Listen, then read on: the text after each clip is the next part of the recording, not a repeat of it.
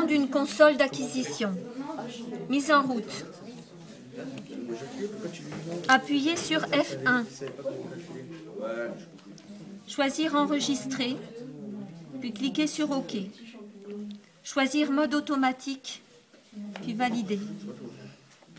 Appuyez sur le bouton bleu. Appuyez sur le bouton même.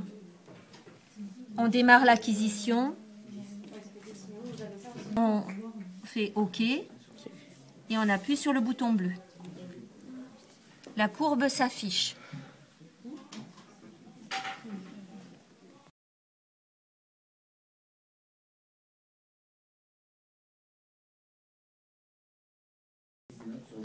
Voilà la courbe qui s'affiche.